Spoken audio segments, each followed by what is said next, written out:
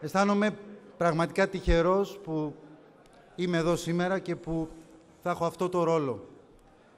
Συνήθως σε μια παρουσίαση τέτοιου είδους όλοι ερχόμαστε με, με την ανάγκη να δούμε το καινούριο, με την προσδοκία να δούμε τι είναι αυτό. Νομίζω ότι περισσότεροι μπήκαμε σε αυτή την αίθουσα με κυρίαρχες πρώτα απ' όλα τις αναμνήσεις μας. Αυτό που κουβαλάμε μέχρι να φτάσουμε σήμερα εδώ. Όταν θα βγούμε, θα είναι η προσδοκία κυρίαρχη από αυτό που θα δούμε. Γιατί μέχρι να φτάσουμε εδώ, με το συνέστημα που κουβαλάμε, ζήσαμε όλοι τις δικές μας μνήμες, ξεχωριστές για τον καθένα μας. Μοναδικές, αλλά και πάρα πολύ κοινές ο ένας με τον άλλον. Για μένα η ΑΕΚ ήταν η πρώτη μου επανάσταση. Με πατέρα Ολυμπιακό, σε πολύ παιδική ηλικία, ήταν επανάσταση να είμαι ΑΕΚ. Πρωτοπήγα στη Φιλαδέλφια πριν τη σκεπαστεί, πριν το 79. Ξεκινούσαμε παρέα από την κολλιά τους γιατί εκεί μεγάλωσα. Σταματάγαμε στη χαρά, πηγαίναμε με τα πόδια, γυρνάγαμε. Θυμάμαι ένα πράγμα, πιο πολύ απ' όλα. Όταν έφτανα έξω από τη Φιλαδέλφια, άκουγα τις φωνές από αυτούς που ήταν ήδη εκεί, μέσα, και αισθανόμουν την ανάγκη να πετάξω. Να πετάξω όσο μπορώ πιο γρήγορα, να μην χάσω δευτερόλεπτο για να βρεθώ μέσα στο γήπεδο. Κάτσα σε κάθε γωνιά αυτού του γηπέδου σχεδόν όπως όλοι μας. Μπήκα με ντούτζα πατζής, μπήκα μετά με ειστήριο, έφτασα να μπω ακόμα και με πρόσκληση. Και έζησα τα πάντα, όπως όλοι μας. Τη χαρά, την απογοήτευση, την οργή, τον πανηγυρισμό, τσακώθηκα και μέσα μου θυμάμαι επίσης τα πάντα, όπως όλοι μας. Θυμάμαι τη μυρωδιά, θυμάμαι το πάθος, την αγωνία, το ξέσπασμα. Από όλα αυτά, τίποτα δεν ήταν το ίδιο μετά.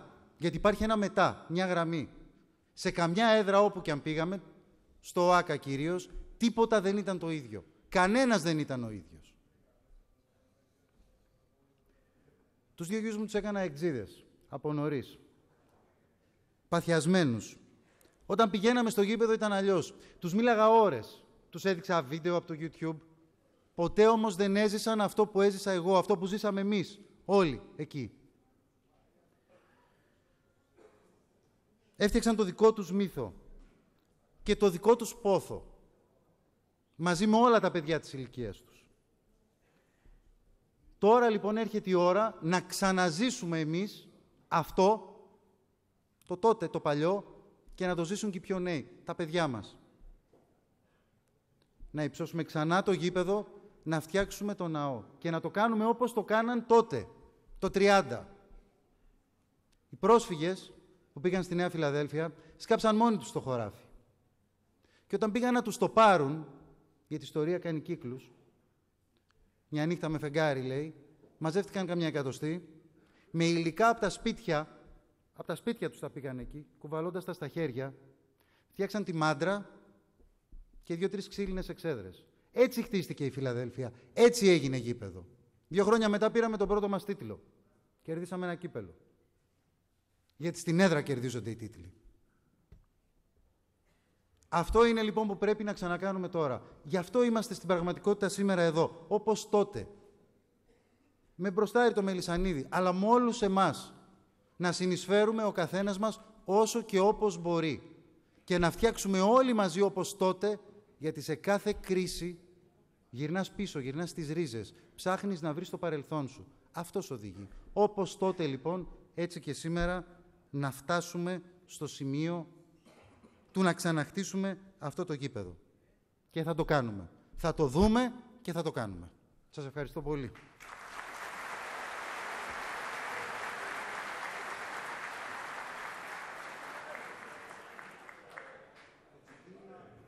Δεν θα μπορούσε να είναι άλλο από τον πρόεδρο της αεραστεχνικής, το γήπεδο της ΑΕΚ. Ξέρουμε όλοι που ανήκει. Ο κύριος Κοτσάτος, λοιπόν, θα έρθει για να μας πει δύο λόγια.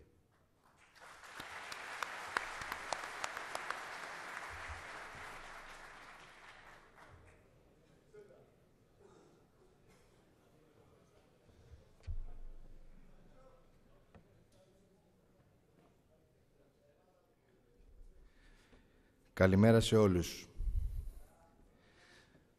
Σε επίσημους, σε στελέχη της ομάδος, σε όλους τους απλούς οπαδούς μας, που κατά βάθος όλοι είμαστε το ίδιο πράγμα. Δεν θα πω πάλι ότι είναι μια ιστορική μέρα σήμερα, γιατί κάθε μέρα από το καλοκαίρι που ξεκίνησε αυτή την προσπάθεια, μετά από εκείνη το μοιραίο βράδυ της τραγωδίας του τελευταίου παιχνιδιού που είχαμε στην έδρα μας και του υποβασμού της ομάδας μας, ζούμε ιστορικές ημέρες. Θέλω να εκφράσω τη συγκρατημένη αισιοδοξία μου μπρος στο σχέδιο που έχει εκπονήσει ο μπροστάρης αυτής της προσπάθειας, ο κύριος Μελισανίδης, για να υλοποιήσουμε το πρώτο και βασικό όνειρο της αναγέννησης της ομάδος μας, που δεν είναι άλλο από το χτίσιμο του σπιτιού μας. Δεν αρκεί όμως μόνο αυτό το πράγμα. Πρέπει όλοι οι αεκτζίδες που μπορούμε να συστρατευτούμε και να κάνουμε αυτό το όνειρο πραγματικότητα σε όσο το δυνατόν γρηγορότερο χρόνο. Δεν λέω ότι είναι εύκολα τα πράγματα. Υπάρχουν τα γνωστά θέματα της γραφειοκρατίας που ταλανίζει τη χώρα μας εδώ και χρόνια, αλλά μπορώ να διαβεβαιώσω όλους ότι πλέον είμαστε μια δυνατή ομάδα που δεν θα κολώσουμε, να το πω και πυρεώτικα, μπροστά σε κανένα πρόβλημα. Όπως το ίδιο έκαναν και οι προγόνοι μας, όπως είπε και ο κύριος Ευαγγελάτος, το 1924 και το 1930, έτσι και εμείς, στη σύγχρονη ιστορία της ομάδας μας, θα κάνουμε ό,τι πρέπει για να ξαναγυρίσουμε σπίτι μας.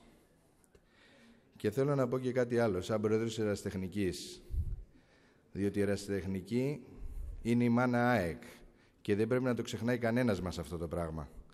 Όλα ξεκίνησαν από την εραστεχνική, η οποία επί πολλά χρόνια είχε την ευθύνη όλων των τιμημάτων, όλων των ομάδων και από το 79 που ήταν ο τελευταίος πρόεδρος ο Λουκάς ο Μπάρλος είχα εγώ την τιμή και το βάρος μετά από σχεδόν 34 χρόνια να ξαναείμαι πρόεδρος πάλι όλων των τμήματων της ΑΕΚ που πλέον έχουν γυρίσει όλα εραστεχνικά. Αυτό όμως είναι απλά η αρχή της αναγέννησης της ομάδας μας. Θέλω λοιπόν να ζητήσω από όλους τους αεξίδες που μπορούν είτε υλικά, είτε ηθικά, είτε με όποιο τρόπο μπορούν να στηρίξουμε την εραστεχνική ΑΕΚ. Να στηρίξουμε τη μάνα ΑΕΚ η οποία αναγεννάται από τις τάχτες της σε όλα τα επίπεδα. Διότι βέβαια το ποδόσφαιρο είναι για μας ο βασιλιάς και αυτό που μας έχει δώσει τις μεγάλες χαρές. Όλοι έχουμε μεγαλώσει σε αυτό το γήπεδο, αλλά υπάρχουν και τα άλλα τμήματα που ξεκίνησαν μαζί του, όπως το ιστορικό τμήμα του μπάσκετ και ο στίβος μας, που δίνουν και αυτά μεγάλες χαρές στον κόσμο μας. Και τέλος για να κλείσω, διότι η μέρα δεν είναι για να μιλάμε, αλλά για να δούμε αυτά που είναι να δούμε, θέλω να πω ότι πρέπει όλοι οι αεκτζίδες να είμαστε περήφανοι εντός και εκτός γηπέδων, διότι η ομάδα μας δεν είναι απλά μια ομάδα. Είναι, πρεσβεύει χαμένες πατρίδες, πρεσβεύει προσφυγιά, πρεσβεύει πολιτισμό και πλέον με βάση από τις αρχές και αξίες που έχει από το παρελθόν ξεκινάει να αναγεννήσει και το μέλλον. Και πρέπει το παράδειγμα της ομάδος μας να γίνει παράδειγμα και για τη χώρα μας για να ξεφύγουμε από την κρίση που με αξιοπρέπεια αντιμετωπίσαμε τα όποια προβλήματα μας οδήγησαν εδώ και ξαναξεκινάμε από την αρχή. Σας ευχαριστώ όλους σας.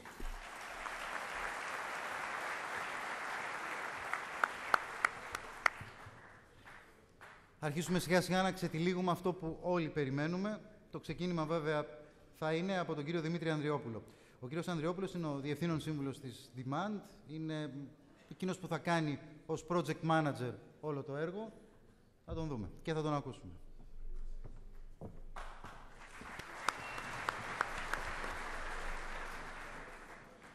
Κυρίες και κύριοι, η υλοποίηση αυτού του έργου είναι μια απόλυτα ομαδική δουλειά. Και εγώ εκπροσωπώ μια πολύ μεγάλη ομάδα που συνεργάζεται εδώ και καιρό για να υλοποιήσει αυτό το έργο. Όπως είναι σε όλους γνωστό, για να φτιάξουμε το σπίτι μας, αποφασίζουμε εμείς, ο αρχιτέκτονάς μας και η πολεοδομία. Για να φτιάξει η ΑΕΚ το σπίτι της, είναι μια διαφορετική προσέγγιση και ένα διαφορετικό εγχείρημα. Θα πρέπει ο Δήμος, που ήδη έχει κάνει το μεγάλο βήμα, η περιφέρεια, η πολιτεία, το εραστεχνικό σωματείο, οι φύλαθλοι και θα επιμείνω σε αυτό και οι φίλοι της ΑΕΚ σε όλη την Ελλάδα και σε όλο τον κόσμο να συνεργαστούν όχι μόνο στο ξεκίνημα αλλά στη διάρκεια όλου αυτού του έργου ώστε μέσα από ένα χρονοδιάγραμμα να το δούμε να πραγματοποιείται. Τα γήπεδα ποδοσφαίρου ήσαν διαφορετικά τη δεκαετία του 40, του 50, του 60 και με απαρχή το Άμστερντα Μαρίνα, το καινούργιο σπίτι του Άγιαξ που έγινε το 1997, 96-97, άρχισε να αλλάζει η μορφή και η δομή των γηπέδων. Τα γήπεδα από χώροι που πεζόταν ποδόσφαιρο και πολλές φορές και υπήρχε και αντιπαράθεση, άρχισαν να γίνουν χώροι υψηλών παραστάσεων, χώροι θεάματος, όπου ο κάθε ένας από μας πηγαίνει, βλέπει το παιχνίδι, καταναλώνει, συναντάει κόσμο, μιλάει για δουλειές, ε, περνάει χρόνο με την οικογένειά του, ψωνίζει και ούτω καθεξής.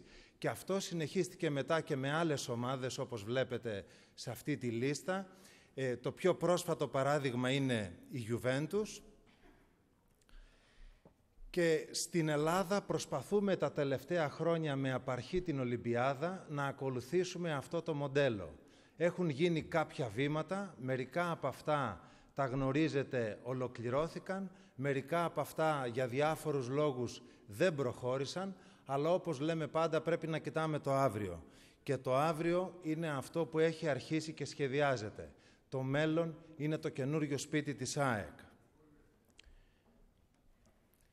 Θέλω να σας πω κάτι που είναι πολύ βασικό και είναι και ουσιαστικό.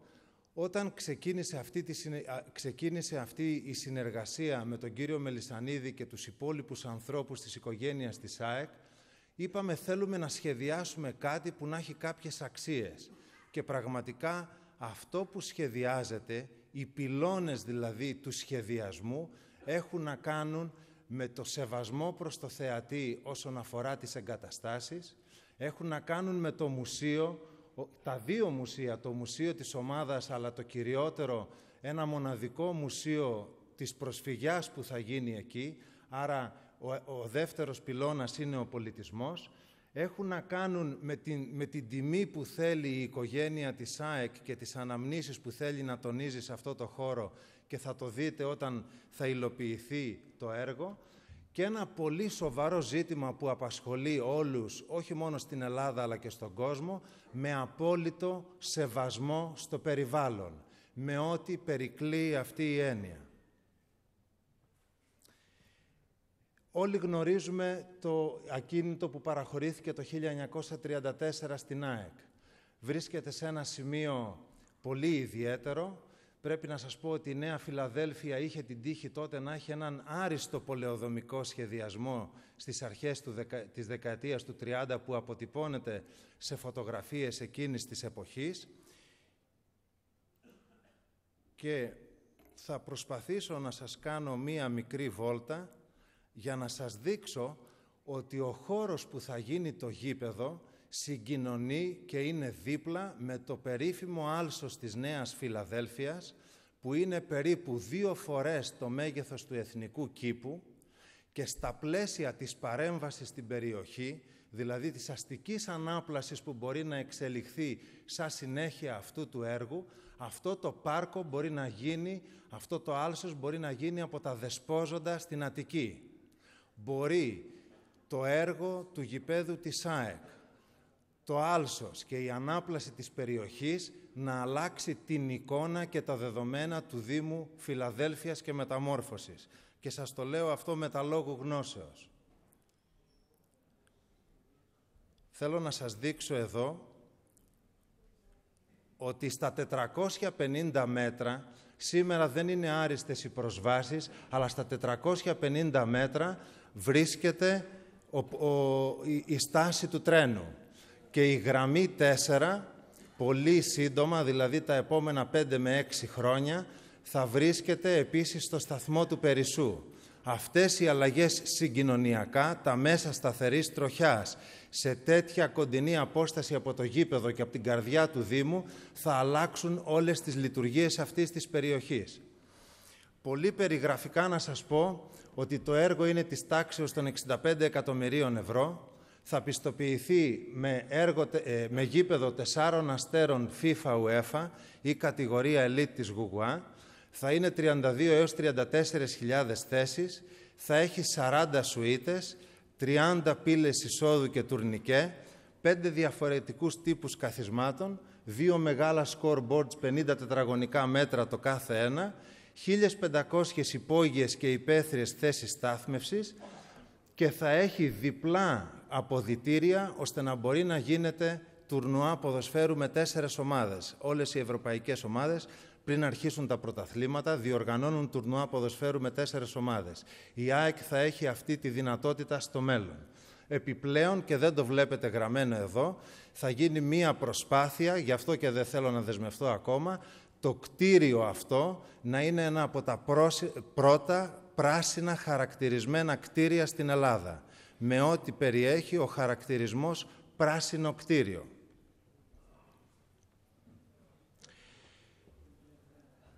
είναι επίκαιρο. Την Κυριακή έχουμε το μαραθώνιο της Αθήνας. Ξέρω, το μαραθώνιο είναι 42.000 μέτρα. Δεν είναι ο μαραθώνιος που λέμε πάω να τρέξω 5 χιλιόμετρα ή 10. Είναι από το μαραθώνα μέχρι το Παναθηναϊκό στάδιο. Και η οικογένεια της ΑΕΚ έχει να διανύσει ένα πραγματικό μαραθώνιο για να τελειώσει αυτό το έργο. Και υπάρχουν άνθρωποι που κάνουν το μαραθώνιο σε δύο ώρες, γιατί ο Θεός τους πρίκησε με αυτό, και υπάρχουν και άνθρωποι που τον κάνουν έξι ώρες και έχει ακριβώς την ίδια αξία, γιατί όλοι τρέχουν για τον τερματισμό. Άρα η λογική όλων μας εδώ είναι με προσεκτικές ενέργειες να τερματίσουμε, δηλαδή να γίνει το έργο. Να μην αναλωθούμε σε ανακοινώσεις και σε ενέργειες οι οποίες θα είναι βιαστικές, αλλά να γίνουν προσεκτικά βήματα, γιατί ο στόχος είναι ο τερματισμός. Εδώ βλέπετε λοιπόν τι έχει γίνει τους τελευταίους τέσσερους με πέντε μήνες που έχουν γίνει πολλά για τόσο μικρό διάστημα. Έχουν ξεκινήσει όλες οι απαραίτητες μελέτες. Ο Δήμος έχει αποφασίσει επί της αρχής ότι θέλει το έργο, σε αντίθεση με το παρελθόν όπου είχε αρνηθεί ένα παλιότερο πολύ διαφορετικό έργο. Εσυστάθηκε η δικέφαλος ΑΕ που όλη η οικογένεια της ΑΕΚ θα συνεισφέρει για να γίνει το γήπεδο. Η Περιφέρεια πολύ έγκαιρα ανακοίνωσε και δεσμεύτηκε για τα 20 εκατομμύρια με τα οποία θα βοηθήσει το έργο. Έχει γίνει η ανακοίνωση της αύξησης του μετοχικού κεφαλαίου. Κατατέθηκε ο οριστικός φάκελος στο Δήμο με ό,τι χρειάζεται για να ψηφιστεί και έγινε και χθες η πρώτη τεχνική συνάντηση με την Περιφέρεια και θα ακολουθήσουν άλλες πολλές. Αυτά έχουν γίνει μέχρι σήμερα και υπάρχουν κάποια πολύ βασικά ζητήματα που θα γίνουν στο άμεσο μέλλον. Το, έργο, το έργο πρέπει να εγκριθεί από τις υπηρεσίες της Γενικής Γραμματείας Αθλητισμού και δουλεύουμε γι' αυτό. Το έργο πρέπει να υποστηριχθεί με θεσμικό τρόπο και αυτή η οργάνωση, η θεσμική, βρίσκεται σε εξέλιξη θα, θα, οι, οι μελέτες εκπονούνται ώστε κάποια στιγμή να βγει η οικοδομική άδεια. Η έναρξη της κατασκευής έχει οριστεί μέσα στο 2014 και η ολοκλήρωση 2015 με 2016. Βλέπετε ότι ακόμα δεν θέλουμε να είμαστε απόλυτα σαφείς σε δεσμεύσεις ημερομηνιών, γιατί εξελίσσονται ενέργειες που εμπλέκονται όλοι οι φορείς που είπαμε και υπάρχουν πολλές φορές απρόπτα ή καθυστερήσεις. Στην Ελλάδα όπως ίσως και αλλού, αλλά περισσότερο εδώ που μας αρέσει πολλές φορές και έχουμε επιρρέπεια στην υπερβολή, μιλάμε για την μπουλντόζα. Θέλει ο κόσμος και πιέζει να δει την μπουλντόζα μέσα. Και θέλω όλοι να σκεφτούμε καλά μπουλντόζες που μπήκαν γκρέμισαν και το έργο δεν έγινε και μπουλντόζες που μπήκαν και το έργο δεν σταμάτησε ποτέ. Στη δική μας περίπτωση, και αυτή είναι η έννοια μας, είναι όταν μπει η μπουλντόζα και αυτή είναι η εντολή που έχουμε στη Νέα Φιλαδέλφια, θα σταματήσει με την ολοκλήρωση του έργου και με τους χιλιάδες ανθρώπους μέσα της ΑΕΚ να, να χειροκροτούν τη σέντρα ενός παιχνιδιού.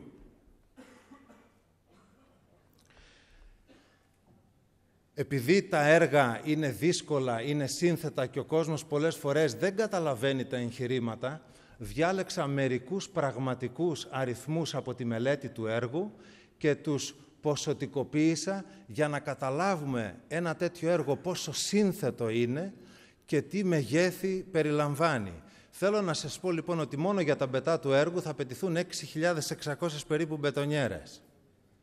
Το στέγαστρο του γηπέδου είναι τέτοια επιφάνεια που θα μπορούσε να στεγάσει 50 γήπεδα τένις. Τα καθίσματα, αν τα βάζαμε σε τρενάκι, είναι απόσταση από τη Σύρο μέχρι τη Μύκονο. Όποιος το έγραψε αυτό είχε στο νου του, όποιος το έγραψε αυτό είχε στο νου του υποθαλάσσια σύνδεση Σύρου με Μύκονο. Μπορεί να το δούμε και αυτό μια μέρα. Το σίδερο που θα χρησιμοποιηθεί είναι 2.000 τόνοι και αν το βάλει κανείς κάτω σε ράγες τρένου, είναι η γραμμή Κηφισιά Πειραιάς. Θα χρησιμοποιηθούν για το, για το σύνολο της καλωδίωσης του έργου 300 χιλιόμετρα καλώδια όλων των ειδών, από οπτικές σύνες μέχρι καλώδια απλά για μπρίζες. Και αυτά τα καλώδια συνδέουν το γήπεδο με το γήπεδο της Αρχαίας Ολυμπίας. 35.000 μέτρα σωληνώσεων που φτάνουν είναι όσο είναι το, το σύστημα υδροδότησης της Έγινας. Αυτό λοιπόν, αυτά είναι τα χαρακτηριστικά του έργου. Και το έργο εκτός από το να ζητάει, έχει να δώσει όπως το κάθε έργο. Και εκτός από τα αυτονόητα, έχει να δώσει πολλά. Έχει να δώσει δουλειά όσο θα υλοποιείται σε 1.500 με 2.000 σήμερα άνεργους ανθρώπους. Και ξέρετε ότι οι άνεργοι στην Ελλάδα είναι πάνω από ένα εκατομμύριο. Θα δώσει 200 έως 400 θέσεις, μόνιμες θέσεις εργασίας, όταν θα λειτουργήσει. Άμεσες, συν τις έμεσες που δεν μπορούν να υπολογιστούν λόγω της ανάπτυξης της περιοχής. Οι θέσεις στάθμευσης του γηπέδου θα λειτουργούν φυσικά αποκλειστικά για τις 26 Κυριακές που θα παίζετε ποδόσφαιρο, αλλά τις καθημερινές θα λύσουν ένα σοβαρό πρόβλημα των δημοτών. Οι δημότες θα έχουν έναν δωρεάν τρόπο να παρκάρουν κάθε μέρα τα αυτοκίνητά τους, που είναι πάρα πολύ σημαντικό. Το έργο, όπως σας είπα και στην αρχή, δεν είναι ένα γήπεδο. Εκτός του ότι είναι αυτό που ονομάζουμε μνήμη και πολιτισμό, είναι μία μεγάλη αστική ανάπλαση, είναι μία αστική παρέμβαση, διότι θα συμπαρασύρει το πάρκο, τη σύνδεση με το τρένο, τα γύρω κτίρια, θα έρθει κόσμος εκεί και θα επενδύσει γύρω-γύρω. Θα αλλάξει όλο το Δήμο που όλοι ξέρουμε αυτά τα χρόνια. Θα αυξήσει τα έσοδα του Δήμου, γιατί όλος αυτός ο τζίρος δημιουργεί δημοτικά τέλη και έσοδα και το έργο αυτό καθεαυτό και όλοι οι εμπλεκόμενοι θα παράξουν, και είναι πραγματικά τα νούμερα, 11 εκατομμύρια ευρώ σε φόρο προστιθέμενης αξίας για το κράτος, 10 εκατομμύρια ευρώ σε φόρο εισοδήματος από όλους τους εμπλεκόμενους και επιπλέον 2,5 εκατομμύρια ευρώ για τις ασφαλιστικές εισφορές. Με όλα αυτά που σας είπα, αναρωτιέμαι και αναρωτιέστε και όλοι ποιος θα μπορούσε να μην θέλει ένα τέτοιο έργο στη σημερινή Ελλάδα. Σας ευχαριστώ πολύ.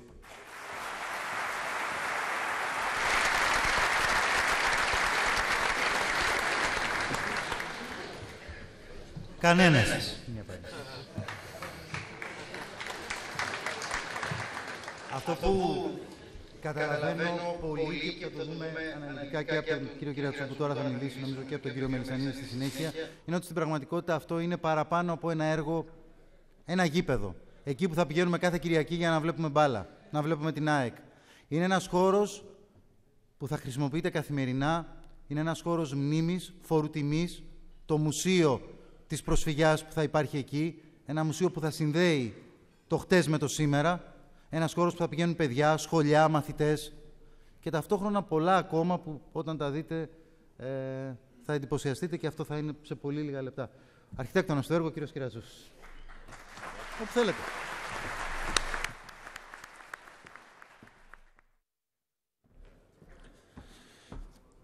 Αγαπητοί κυρίες και κύριοι, καλησπέρα. Ε, θα ήθελα μέσα από την καρδιά μου να εκφράσω ένα θερμότατο ευχαριστώ στην ηγεσία, όπως και σε όλη την οικογένεια της ΑΕΚ, για την εμπιστοσύνη που μας δείξατε με την ανάθεση της μελέτης αυτού του έργου. Η ΑΕΚ, ένας ξεχωριστός αθλητικός σύλλογος, μια μεγάλη ομάδα ποδοσφαίρου και ταυτόχρονα μια συλλογική οντότητα, μια ένωση που τα συμβολικά, ουσιαστικά και ταυτοποιητικά συστατικά της στοιχεία υπερβαίνουν τα στενά χωροταξιακά και πληθυσμιακά όρια ενός Δήμου, μιας πόλης, μιας περιφέρειας και τις προσδίδουν μία ανεπανάληπτη αναφορά άρρηκτα δεμένη με την ιστορία του ελληνισμού και της Ελλάδος, όπως όλοι μας γνωρίζουμε πολύ καλά.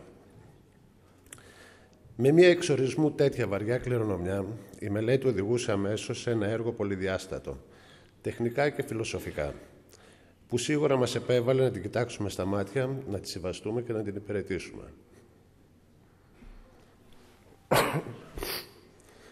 Έτσι, ανοιχνεύσαμε τις ιστορικές αναφορές μας στον ελλαδικό χώρο στα πλαίσια του εντοπισμού της απαρχής, της αρχιτεκτονικής σκέψης, της βυζαντινής πλέον χριστιανικής περίοδου. Ξεκινώντας από τη ροντόντα του Γαλερίου στη Θεσσαλονίκη, το 304 μετά Χριστό, έως την Αγία Σοφία, το 537 μετά Χριστό, καταλαβαίνουμε την εξέλιξη αυτής της σκέψης τόσο στα οχυρωματικά και στρατιωτικά οικοδομήματα, όσο και στα αστικά, θρησκευτικά και δημόσια κτίρια. Μια αρχιτεκτονική σκέψη που διονύζεται τους επόμενους 15 αιώνες ακέραιη ζητώ συγγνώμη αλλά είμαι κάτω από μια ίωση ακέραιη και ανέπαφη ως η αρχιτεκτονική του χριστιανικού ελληνισμού κάτω από την επωνυμία Βυζαντινή Αρχιτεκτονική.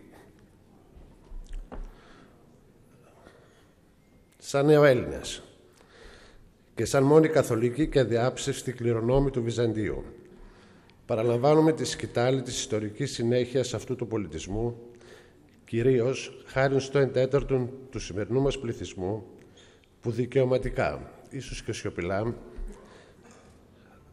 τους κληροδοτήθηκε. Σε αυτούς τους ανθρώπους που γεννήθηκαν, διέπρεψαν και μεγαλούργησαν σαν κάτοικοι της μεγαλύτερης πόλης όλων των χρόνων ή των γειτονικών αυτής, ορθόδοξων χριστιανικών κέντρων του Βυζαντίου, και ο αποξυκληρισμός τους δεν τους αφάνισε, αλλά τους έκανε άξιους συνεχιστές και δημιουργούς της νέας μας πραγματικότητας.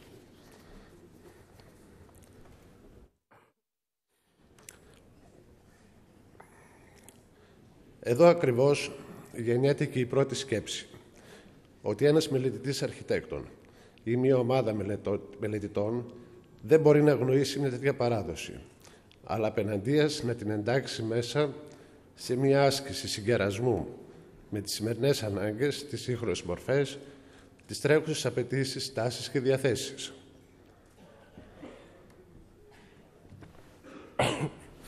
Μέσα από σε αυτό το πλαίσιο αναφορών και παραδοχών επιβαλόταν να υιοθετήσουμε πρωτόγνωρες επιλογές και αποφάσεις, σχεδιάζοντας ένα πολυδύναμο σύγχρονο κέντρο με αναφορά στον αθλητισμό, αλλά και την ιστορία και τον πολιτισμό. Σχεδιάσαμε έτσι ένα κέντρο αθλητισμού, μνήμης και πολιτισμού, συνδυάζοντας και συνδέοντας άρρηκτα τον αθλητισμό και τον πολιτισμό με το βίωμα και τον συνέστημα πέντε γενναιών του προσφυγικού ελληνισμού με τη μνήμη και το DNA του ελληνισμού της Ανατολής. Επιλέξαμε το αρχιτεκτονικό σχέδιο και τα υλικά κατασκευής του να παραπέμπουν και να αναδεικνύουν τις ρίζες, την ξεχωριστή διαδρομή και τους συμβολισμούς της μοναδικής ΑΕΚ με αναφορά στην πόλη και στις αλυσμόνιτες πατρίδας. Ένας χώρος εν δυνάμει έτοιμος να περικλείσει την παράδοση και το ιστορικό παρελθόν έτσι ώστε να παραδοθεί σαν κοιμήλιο στα χέρια των συνεχιστών της.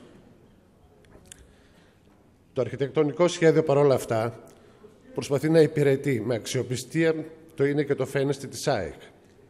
Φιλοδοξεί να βρίσκεται με ισορροπία, σε ισορροπία με το δομημένο περιβάλλον της πόλης, χρησιμοποιώντας συμβατά υλικά κατασκευής, προβάλλοντας μια ενιαία αρμονική σύνθεση, ανάμεσα στον αθλητικό χώρο και τις συναφείς χρήσεις αυτού, όπως το Μουσείο της Ιστορίας της ΑΕΚ, το Μουσείο του Προσφυγικού Ελληνισμού, τα Λουτρά, τους καθημερινούς χώρους κλπ. Παράλληλα αποφεύγονται φουτουριστικές μορφές, ίδιων μιας άλλης απρόσωπης ομάδας και περιοχής, χωρίς ταυτότητα, ιστορικό φορτίο, συνέστημα, μνήμη και όνειρα. Ενώ επιπροσθέτως εστιάζεται, εστιάζει στην ενεργειακή του αυτοδυναμία με απόλυτο σεβασμό στην περιβαλλοντολογική μέρημνα και τη σύγχρονη τεχνολογική αντίληψη.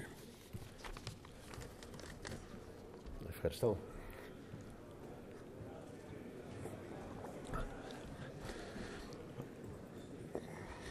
Όλη η μελετητική ομάδα, περισσότερο ή λιγότερο φίλαθλοι, υποταχθήκαμε στη λογική της απόλυτης αποδοχής και σεβασμού της πολιτισμιακής βαρύτητας του εγχειρήματος. Οραματιστήκαμε την ενεργοποίηση της ιστορικής μνήμης ως γεφύρωμα του χάσματος αθλητισμού και πολιτισμού. Χάσμα καθόλου φαινομενικό, καθότι αφότεροι αποτελούν ομόκεντρους κύκλους που εκπορεύονται από τις ίδιες αξίες. Υπηρετούν και εξυπηρετούν τον άνθρωπο και γεννήθηκαν συγχρόνως και κάτω από τον ίδιο λόγο σε αυτή ακριβώς τη χώρα, σε αυτή την Αττική γη. Αξίες πανανθρώπινες του ελληνισμού, αλλά και συνώνυμο και ταυτότητα ενός διεθνισμού που ξεπερνά κατά πολύ τα στενά γεωγραφικά της όρια της χώρας μας και τους κατοίκους της. Ευχαριστώ.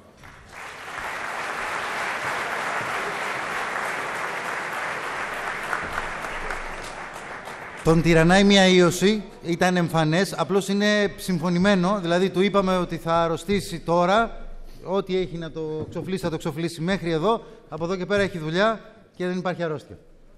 Σύμφωνοι, έτσι; Ενώ μέχρι τώρα. θα, θα έρθουμε τώρα σε μια ίσως την πιο συμβολική στιγμή αυτού που σήμερα κάνουμε εδώ. Νομίζω ότι όλοι καταλαβαίνουμε τους ισχυρούς συμβολισμούς που κουβαλάει αυτή η προσπάθεια. Αυτή η προσπάθεια που ξεκίνησε από τους πρόσφυγες, από τους πρόσφυγες που ήρθαν εδώ στην Ελλάδα. Σε αυτές τις ρίζες, λοιπόν, αυτή η προσπάθεια γυρίζει, αυτές τις ρίζες αναζητάει για να είναι το δέντρο που θα χτιστεί δυνατό, ψηλό. Με πάρα πολύ συγκίνηση όλοι, είμαι σίγουρος, θα ακούσουμε το Μητροπολίτη Δράμας, ο οποίος είναι εδώ για να μας μιλήσει, να μεταφέρει μήνυμα του Οικουμενικού Πατριάρχη Βαρθολομαίου και μια εξαιρετικά συμβολική κίνηση εκ μέρους του Πατριαρχείου που θα μας την πει ο ίδιος.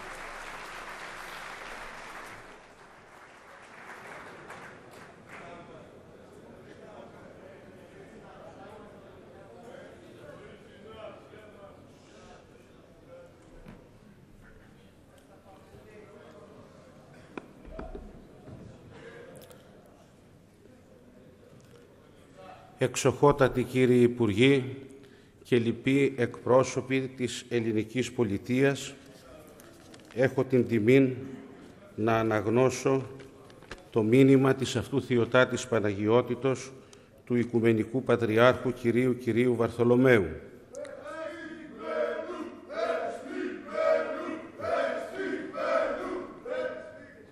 Το εντύμο Διοικητικό Συμβουλίο της Δικέφαλος 1924, τέκνης της ημών μετριότητος εγκυρίου αγαπητής, χάριν και ειρήνην παραθεού, πληροφορηθέντες εκ του Ιερωτάτου Μητροπολίτου Δράμας Κυρίου Παύλου, του και εκπροσώπου ημών και της Μητρός Εκκλησίας, εις την υφημών διοργανουμένην εκδήλωση, καθήν θα παρουσιαστεί το προσχέδιο του νέου σταδίου της εφήμως γνωστής Αθλητικής Ενώσεως Κωνσταντινούπολεως εις τους υπογείους χώρους του οποίου θα στεγαστεί το Μουσείο Συνόλου του Προσφυγικού Ελληνισμού, με πολλήν αγάπην σας απευθύνομεν των εγκάρδιων ημέτερων πατρικών χαιρετισμών.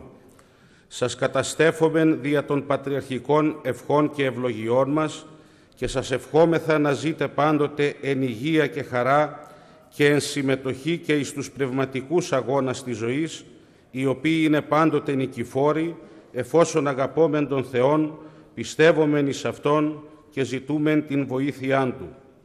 Η ιδιώτη σας, ως αθλητών, φιλάθλων και αγωνιστών και μάλιστα ενός ομαδικού αθλήματος, μας υπενθυμίζει αυτούς τους πνευματικούς αγώνας εις τους οποίους όλοι καλούμεθα να συμμετέχομεν. Είναι πράγματι ωραίον δια πάντα άνθρωπον να είναι αγωνιστής του καλού πνευματικού αγώνος. Μάλιστα δε αυτού του καλού αγώνος μόνιμοι αγωνιστέ, όχι μόνον δικαιούμεθα, αλλά και οφείλουμε να είμεθα όλοι και ιδιαιτέρως οι αθλητέ. Ως μας λέγει ο Απόστολος Παύλος, ο αθλητής δεν στεφανούται εάν μη νομίμως αθλήσει.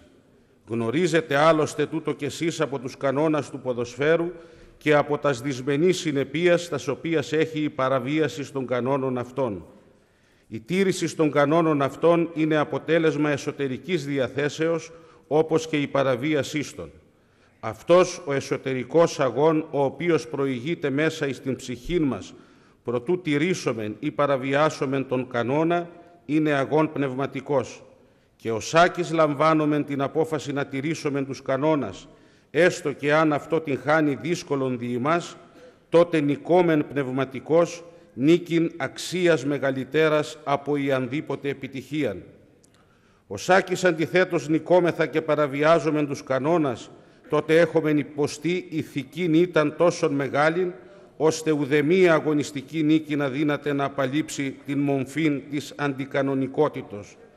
Μάλλον δεν πρέπει να είπομεν ότι ουδεμία αγωνιστική νίκη αναγνωρίζεται από τη συνείδησή μας ως νόμιμος και κανονική και ο στέφανος της νίκης δεν μας απονέμεται από την ψυχή μας, έστω και αν ανακηρυχθόμενοι νικητέ από τους άλλους.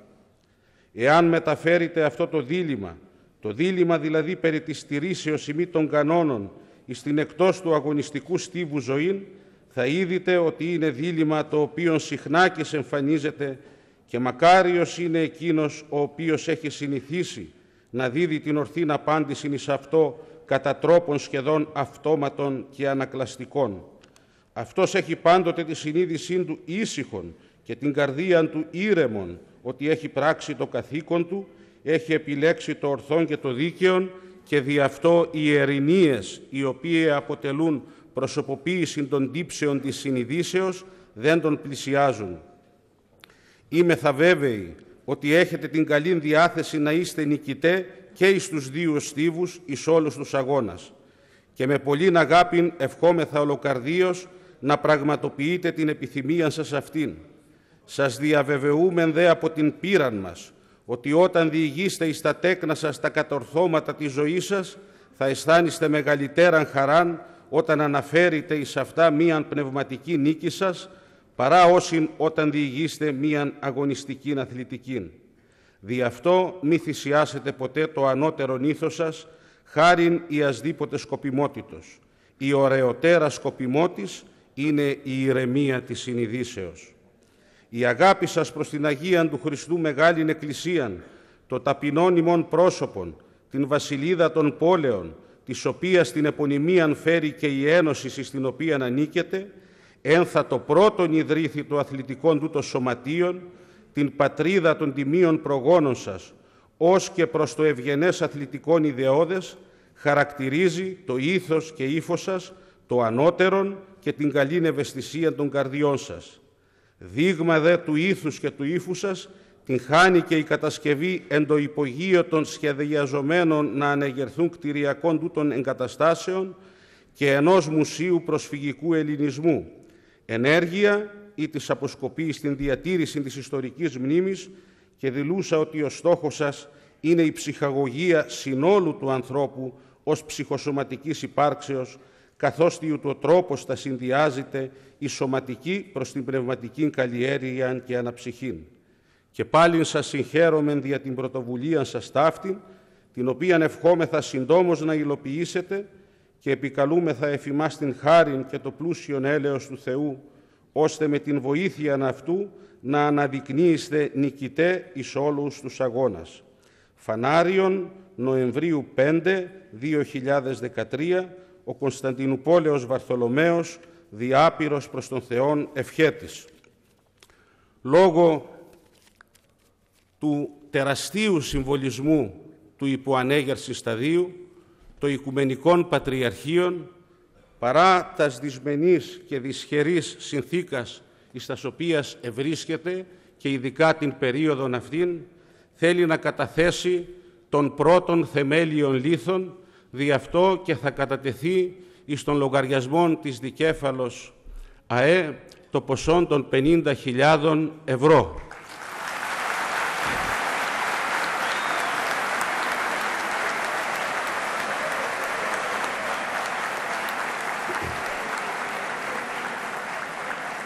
Θα μου επιτρέψετε όμως, αγαπητοί συνδετημόνες, ως ποντιακής προσφυγικής καταγωγής ιεράρχης, συνδεόμενος από ετών με τον Κύριο Δημήτρη Μελισανίδη, να εκφράσω προς Αυτόν την ευαρέσκειά μου και να του πω ότι η αείμνηστη γονείς του, Ζώρας και Βέρα, είναι για άλλη μια φορά περήφανη γι' Αυτόν.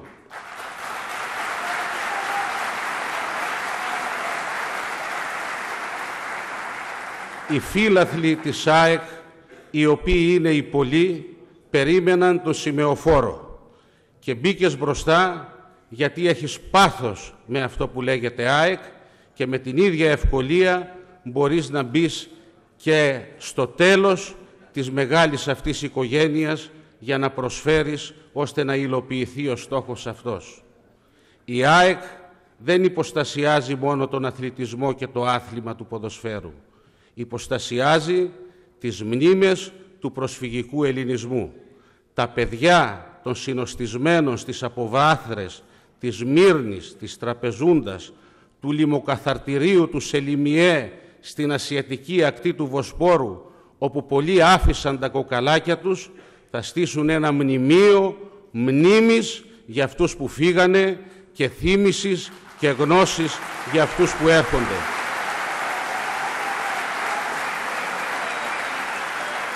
Σε συγχαίρω και σε ευχαριστώ.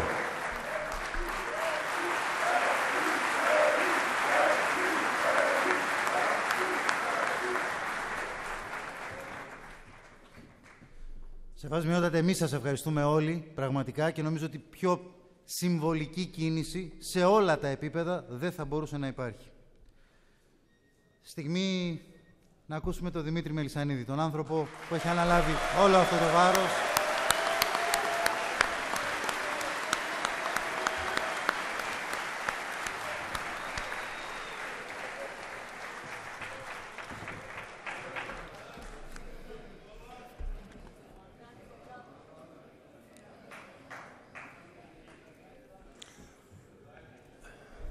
Άγιε Μητροπολίτη Δράμας Παύλε, εκπρόσωπε του Παναγιωτάτου Οικομενικού Πατριάρχη κυρίου Βαρθολομαίου, αξιότιμοι εκπρόσωποι της κυβέρνησης και της ελληνικής πολιτείας, κυρίες και κύριοι, σας ευχαριστούμε για την παρουσία σας στη σημερινή ιστορική για την ΑΕΚ εκδήλωση, σε μια εκδήλωση που σφραγίζει την πορεία της προς το αύριο.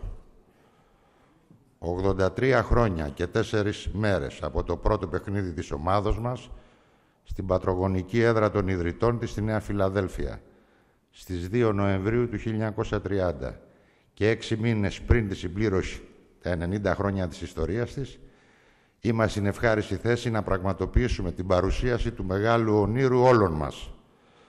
Να παρουσιάσουμε αλλά και να ξεκινήσουμε την αντίστροφη μέτρηση για την επιστροφή της ΑΕΚ στη γη των προγόνων της. Στη γη την οποία απότισαν με αίμα και τον υδρότα τους ήταν λίγο μετά το 1927, όταν μια χούφτα πρόσφυγες, αθλητές και απλοί φίλαθλοι κατέφεραν μέσα σε ένα βράδυ να μετατρέψουν σε ποδοσφαιρικό γήπεδο την έκταση που παραχωρήθηκε για τα ξεριζωμένα παιδιά που από τις ακτές της Μικράς Ασίας έφεραν τον πολιτισμό τους, τις αξίες τους και εγκατέστησαν στην περιοχή που εκείνοι ονόμασαν Νέα Φιλαδέλφια τα όνειρά τους για μια καλύτερη ζωή. Αυτούς τους ανθρώπους τιμάμε σήμερα με αυτή την παρουσίαση. Αυτούς τους ανθρώπους που διατήρησαν ζωντανών και μας παρέδωσαν το ιδανικό που λέγεται ΑΕΚ. Αυτούς τους ανθρώπους για τους οποίους κατά καιρούς προδώσαμε, αλλά έφτασε η ώρα της μεγάλης δικαίωσης για όλους. Κυρίες και κύριοι, όσο και αν δυσκολεύονται οι αντίπαλοι μας να το καταλάβουν και δεν τους παραξηγούμε γι' αυτό, τους είναι πολύ δύσκολο. Η ΑΕΚ είναι κάτι πολύ περισσότερο από μια ποδοσφαιρική ομάδα και το γήπεδό της δεν θα μπορούσε να είναι απλώς ένα σύγχρονο ποδοσφαιρικό γήπεδο. Αυτό που όλοι θα δούμε αποτελεί μνημείο αθλητισμού, μνήμης πολιτισμού και προσφυγικού ελληνισμού. Το νέο μας γήπεδο έπρεπε να εκπροσωπεί την τεράστια ιστορία της ομάδας μας και να έχει ως σημείο αναφοράς τη βυζαντινή και την προσφυγική της προέλευση. Όπως η ΑΕΚ έτσι και το γήπεδό της έπρεπε να ακουμπά στην ιστορία της, να εκπροσωπεί το μεγαλείο του προσφυγικού ελληνισμού και να εσαρκώνει τις βαθιές καταβολές στη μεγαλύτερη αυτοκρατορία της ελληνικής ιστορίας. Είναι πρόσφατη η δεύτερη άλωση της αγαπημένης μας ομάδος. Μετά την καταστροφή έρχεται πάντα η αναγέννηση. Και αυτή τη φορά τα τείχη που θα προστατεύσουν την αγαπημένη μας ομάδα θα είναι ψηλά, θα είναι απόρθητα. Το κάστρο αυτό δεν θα πέσει ποτέ και ο δικέφαλος αετός θα επιστρέψει, πιο προστατευμένος από ποτέ. Το κάστρο αυτό δεν θα έχει καν αρρύθμιση στις πύλες του. Κάθε θύρα του νέου μας γηπέδου θα πάρει το όνομά της από τις πόλεις της Μικράς Ασίας, από τις πόλεις του ελληνισμού της Ανατολής.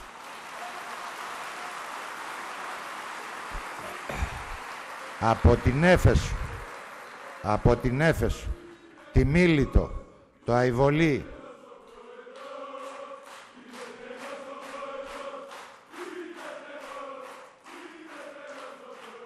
από την Έφεσο, τη Μίλητο, το Αϊβολί, τη δική μας Φιλαδέλφια, θα διατηρήσουμε μόνο τη θύρα 21 και όσο συμβολίζει για τον οπαδό της ΑΕΚ. Κυρίες και κύριοι, οι ιδρυτές αυτής της ιδέας που λέγεται ΑΕΚ δεν χρειάστηκαν την παραμικρή βοήθεια για να δημιουργήσουν ένα γήπεδο που αποτέλεσε σημείο αναφοράς για το ελληνικό ποδόσφαιρο. Ούτε εμείς θα χρειαστούμε, γιατί αυτή τη φορά το σπίτι μας θα το χτίσουμε μόνοι μας. Και αυτή τη φορά το σπίτι θα το χτίσουμε μαζί, με τη Δικέφαλος 1924, που θα έχει μετόχου τους φίλους και τους φιλάθλους που θα ανήκει στην ΑΕ και κανέναν άλλον. Ο καθένας θα μπορεί να μετέχει στην αύξηση του μετοχικού κεφαλαίου με τις δικές τους δυνάμεις. Ο στόχος μας είναι πολλά από λίγους και λίγα από πολλούς. Απλώς πρέπει να είμαστε όλοι μαζί, γιατί αυτό το γήπεδο δεν θα έχει ιδιοκτήτες. Κανένας Μελισανίδης, κανέναν ιδιοκτήτη. Όπως και η ΑΕΚ δεν έχει ιδιοκτήτες, όσο και αν ούτε αυτό νοούν να το καταλάβουν, το ιδανικό που λέγεται ΑΕΚ είναι πάνω από πρόσωπα. Ισχυρούς ιδιοκτήτες χρειάζονται οι εταιρείες. Και η ΑΕΚ δεν είναι εταιρεία. Είναι ιστορία και ιδανικό. Είναι αρισμόνιτες πατρίδες, είναι το Βυζάντιο, είναι η πόλη των πόλεων, είναι η προσφυγιά. Και αυτό το γήπεδο θα ανήκει στην ΑΕΚ και στον κόσμο της. Αυτά τα τείχη θα τα σηκώσουμε ψηλά όλοι μαζί, όπως πριν 83 χρόνια οι προγόνοι μας σήκωσαν το πρώτο μαντρότυχο της παλαιτότε θύρας 3 του γηπέδους με τα υλικά που περίσευαν από το χτίσιμο των προσφυγικών καντικιών της Νέας Φιλαδέλφειας, η μοναδική διαφορά είναι ότι αυτή τη φορά το όνειρο θα δώσουμε σάρκα και οστά πολύ πιο γρήγορα. Δεν γίνεται να αντέξουμε και άλλη δεύτερη προσφυγιά. Και τότε και τώρα η ΑΕΚ ξεκινούσε για τη μεγάλη επιστροφή. Με τη μόνη διαφορά ότι σήμερα δεν βρισκόμαστε στο μηδέν, έχουμε πίσω μας 90 χρόνια ιστορίας και υπερηφάνειας. Έχουμε πίσω μας αμέτρητες σελίδες δόξας γραμμένες σε αυτό το γήπεδο που και πάλι θα φτιάξουμε. Όλοι εμείς εδώ έχουμε μάθει ότι οι ΑΕΚ είμαστε στα δύσκολα πιο πολύ από τα εύκολα και τα δύσκολα είναι μπροστά μας. Απλώς ο δρόμος ανοίγει με το γήπεδο από το οποίο έχετε ήδη πάρει μια πολύ μικρή γεύση. Κυρίες και κύριοι, η Δικέφαλος 1924, μια ΑΕ εταιρεία που αναλαμβάνει την πραγματοποίηση του μεγάλου μας ονείρου, ήδη έχει προκηρύξει αύξηση μετοχή κεφαλαίου 30 εκατομμυρίων ευρώ. Είναι δεδομένο ότι θα καλυφθεί από όλους. Βεβαίως είναι δεδομένο ότι τα χρήματα που θα συγκεντρωθούν από την αύξηση θα επιστρεφθούν μέχρι του τελευταίου ευρώ αν μία στο εκατομμύριο υπάρξει οποιοδήποτε πρόβλημα σε αυτή την προσπάθεια που τώρα ξεκινάει. Για να γίνει το όνειρο πραγματικότητα θα απαιτηθεί η βοήθεια όλων μας. Και είμαι σίγουρος ότι το έργο προχωράει και είμαι σίγουρος ότι όσο το έργο προχωράει, η δικέφαλος θα καλύψει όποια νέα αύξηση του μετοχικεφαλαίου απαιτηθεί. Δεν είναι υπόθεση του Μελισανίδη το νέο γήπεδο της ΑΕΚ. Ακόμα και αν χρειαστεί να βάλω τα περισσότερα χρήματα. Ήρθε η στιγμή της αλήθειας για όλους μας. Τώρα πλέον θα φανεί ποιοι πραγματικά αγαπάνε την ΑΕΚ. Και δεν νομίζω ότι μπορεί να υπάρξει κάποιος επιφανής και οικονομικά ισχυρός οπαδός αυτής της ομάδα που θα απουσιάζει από αυτό το κάλισμα, που θα αρνηθεί να γράψει με χρυσά γράμματα το όνομά του στη λίστα των μεγάλων υποστηρικτών.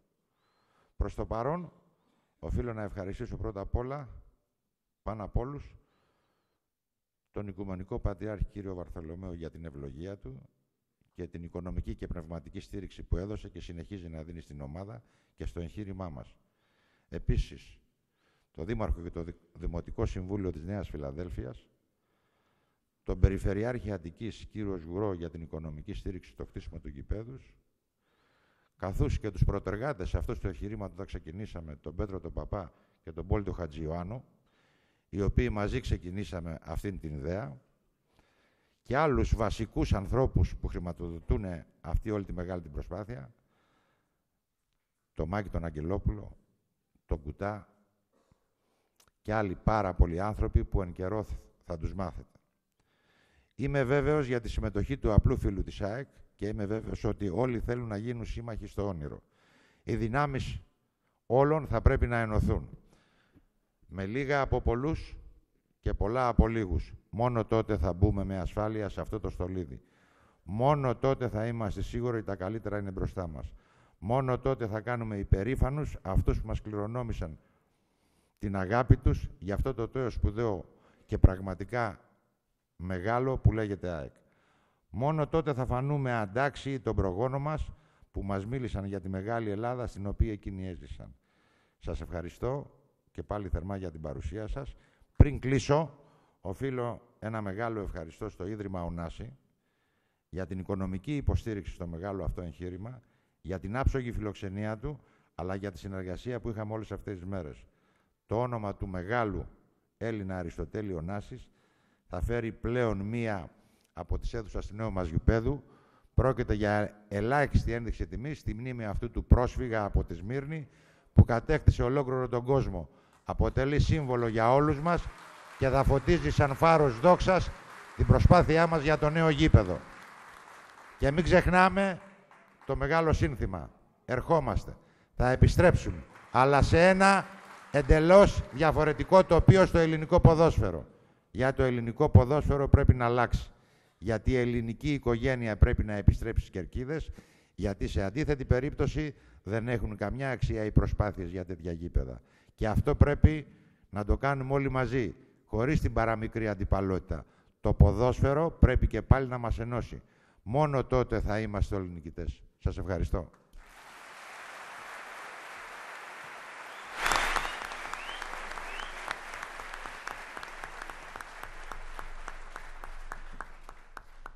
Και φτάνει η ώρα να το δούμε. Αυτό λοιπόν που θα δείτε τώρα είναι ένα βίντεο. Έχει διάρκεια 20 λεπτά. Ξεκινάει όπως όλα από εκεί που άρχισε η ΑΕΚ και φτάνει μέχρι την περιήγηση μέσα στο γήπεδο. Τα υπόλοιπα αμέσως μετά όταν όλοι θα έχουμε θαμποθεί και θα έχουμε εντυπωσιαστεί από αυτό που τώρα θα δούμε.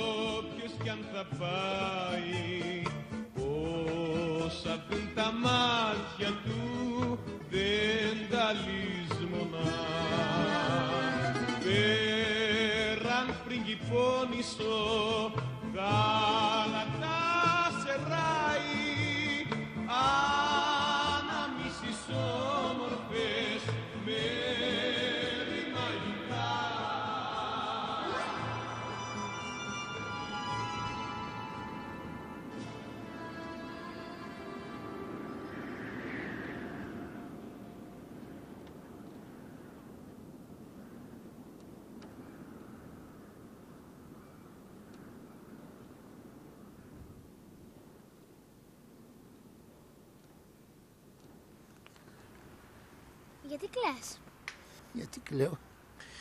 Γιατί εδώ ήταν το σπίτι μας. Ραγίζει η καρδιά μου. Και ήταν ωραίο. Είναι κομμάτι του εαυτού μας. Εδώ ήρθαμε όταν μας έδιωξαν από τα σπίτια μας. Αυτό έγινε η πατρίδα μας αυτό εδώ.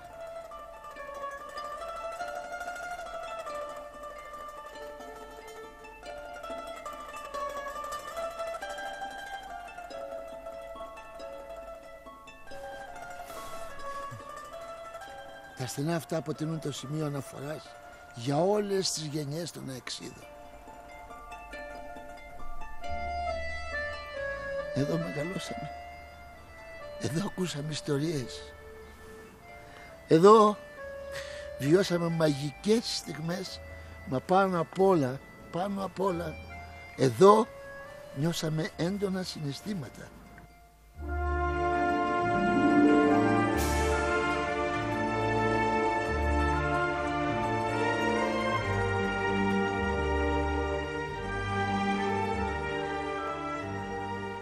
Εδώ μείναμε όρθιοι όταν στα όρια της εξαθλίωσης προσπαθούσαμε να κάνουμε μια νέα αρχή με τις αξίες μας και το ήθος των προσφύγων. Εδώ ενώσαμε για πάντα τις ζωές μας. Εδώ κρατήσαμε ζωντανή τη φλόγα της πόλης.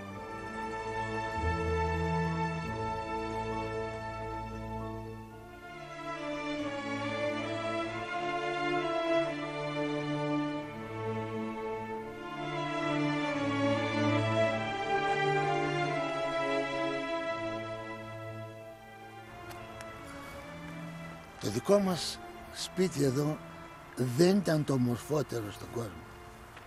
Δεν ήταν παλάτι, ήταν όμως ναός. Ο δικός μας ναός που δημιουργήθηκε με θυσίες και κόπο. Με τον υδρότα, το αίμα, αλλά και τα δάκρυα ανθρώπων που θέλησαν να στεγάσουν σε αυτό εδώ το χώρο τα όνειρά τους. Βλέπεις, οι πρόσφυγες θα είναι για πάντα υπερήφανοι γιατί με τη δική τους θέληση, το πάθος, την προσφορά αλλά και τη βοήθεια ανθρώπων όπως ο Νίκος Γκούμας, ο Λουκάς Μπάρλος.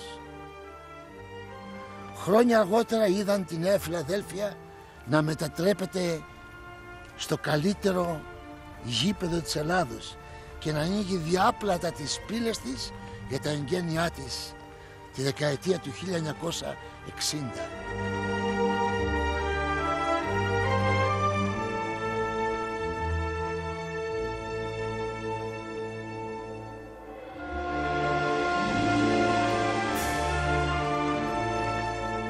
Σε αυτό το γήπεδο η ΑΕΚ έκαμψε ομάδες που έχουν κατακτήσει κύπελα πρωταθλητριών.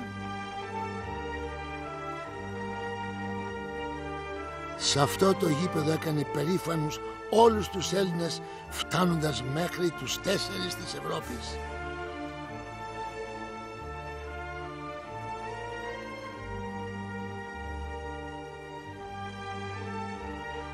Σε αυτό το γήπεδο η ελληνική βασίλισσα αντίκρισε στα μάτια τη βασίλισσα της Ευρώπης. Σε αυτό το γήπεδο έγραψε πολλές από τις χρυσές σελίδες της ιστορίας της.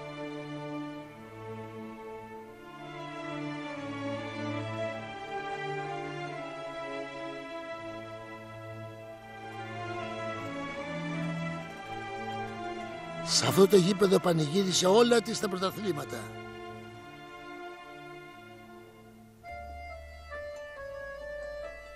Αυτό το γήπεδο ο ναός μας θα είναι πάντα στην καρδιά μας.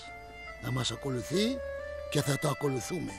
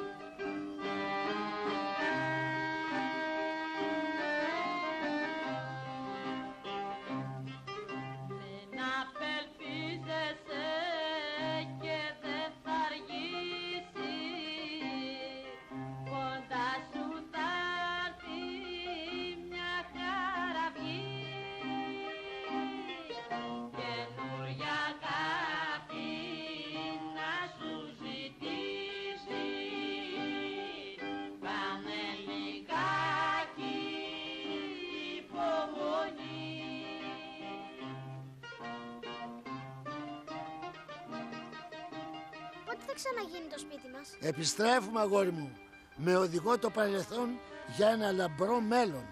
Και το σπίτι μας αυτό, τα δικά μας τείχη, θα είναι κομμάτι της ιστορίας του ελληνισμού.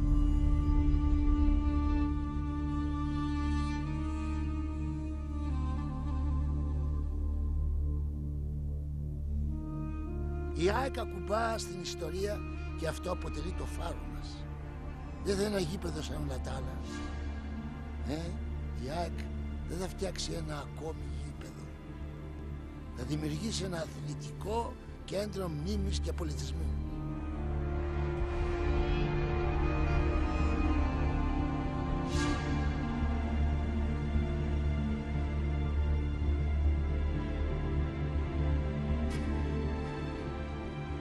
βασισμένο στις καταβολές της ομάδας, στις θύμησες του παρελθόντος, στις εικόνες της δικής μας πόλης.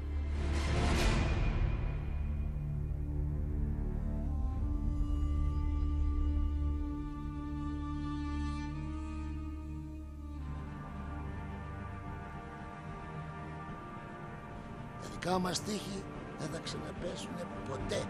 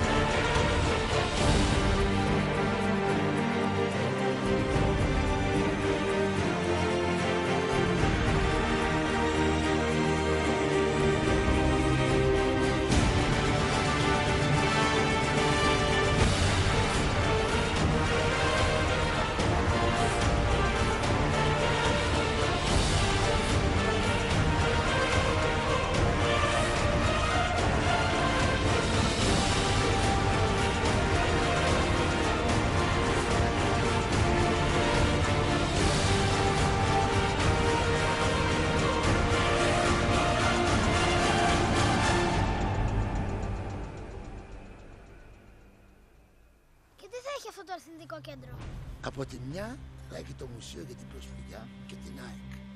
Το εκκλησάκι του Οσίου Λουκά που εκτός των άλλων θα αποτελεί μια ακόμα ένδειξη σεβασμού στο Λουκά Μπάρλο.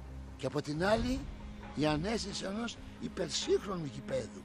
Από την πρόσβαση ως τις τέλειες συνθήκες για ποδοσφαιριστές και θεατές.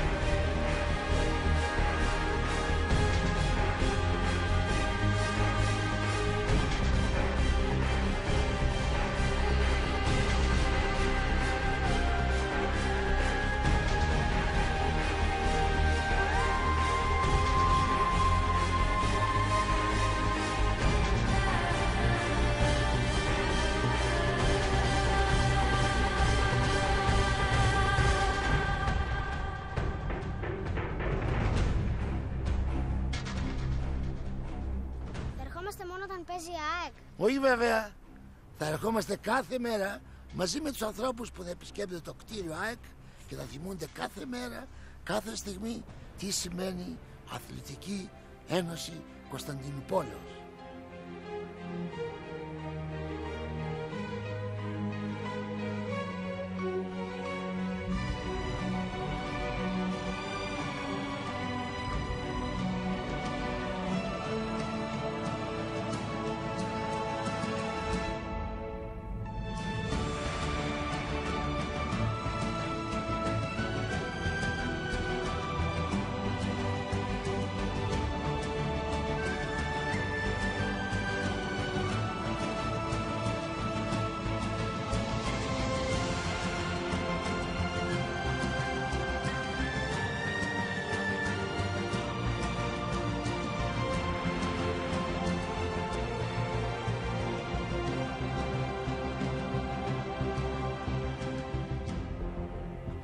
Περιοχή θα αναβαθμιστεί.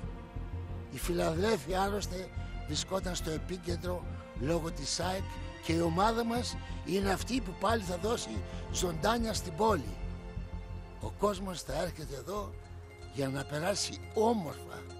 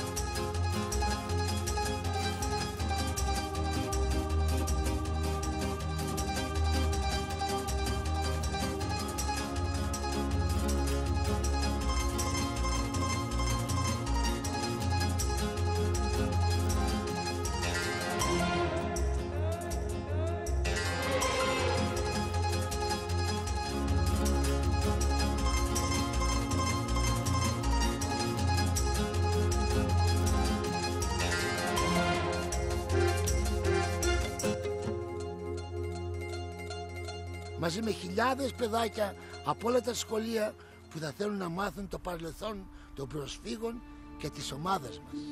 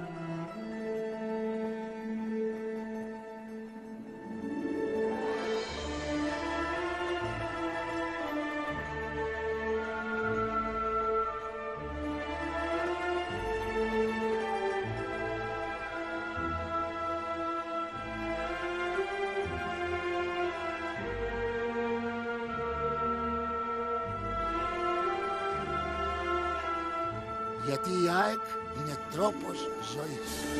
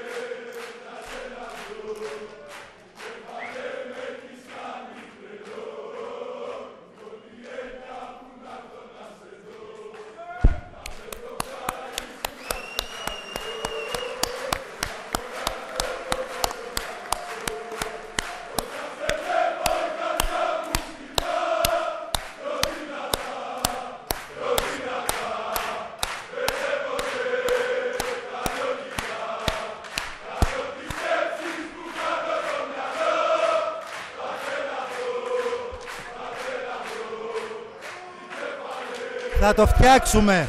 Θα το φτιάξουμε.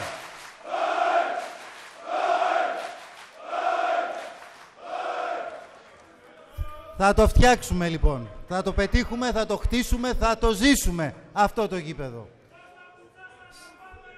Σας είπα από την αρχή ότι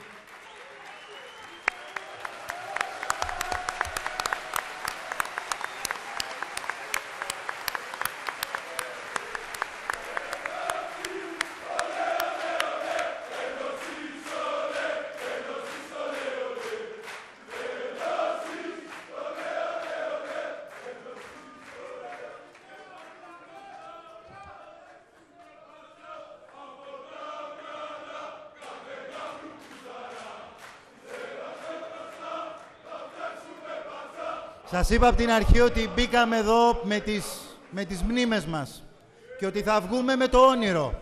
Αυτό το γήπεδο λοιπόν είναι το γήπεδο που αξίζει στην ΑΕΚ.